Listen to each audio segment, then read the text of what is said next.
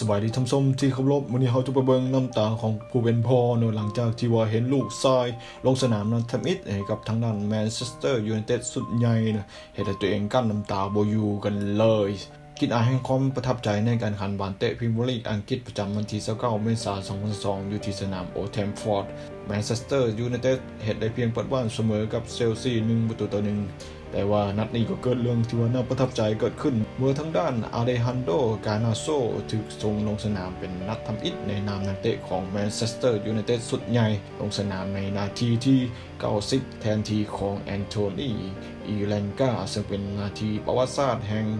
ความประทับใจของผู้เป็นครอบครัวพ่อแม่แล้วก็เจ้าโตนั่นเองเนาะจังหวะดังกล่าวเกิดขึ้นเมื่อกานาโซกองหน้าดาวเด่นของทีมชาติอาร์เจนตินาอายุ 17 ปีทึกลงสนาม พร้อมทั้งทีมมีครอบครัวตามมาเซียให้เป็นกำลังใจอยู่ที่สนามโอเทมพอร์ตประเทศอังกฤษนะได้ยืนขึ้นแล้วก็ตบมือขณะที่พ่อของกานาโซถึงคันกับห้องให้ออกมาด้วยน้ำตาแห่งความประทับใจในตอนที่ว่าโคซกเอินซื่อของกานาโซในจังหวะที่เปลี่ยนโตลงสนาม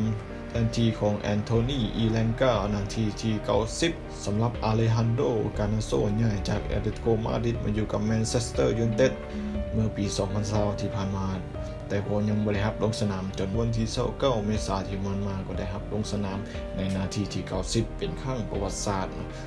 ซึ่งล่าสุดก็มีสื่อติดทีมชาติอาร์เจนตินาไปแข่งขันบอลโลก 2002รอบคัดเลือกนัดที่ว่าจะพบกับเวเนซุเอลาและกับเอกวาดอร์ก็ต้องติดตามกันว่าดาวเด่นคนนี้จะสร้างผลงานโดดเด่นเท่าใดในนัดต่อไปนะและก็จะได้รับโอกาสลงสนามให้กับทีมได้น้อยหลายสมัยก็ต้องติดตามกันไป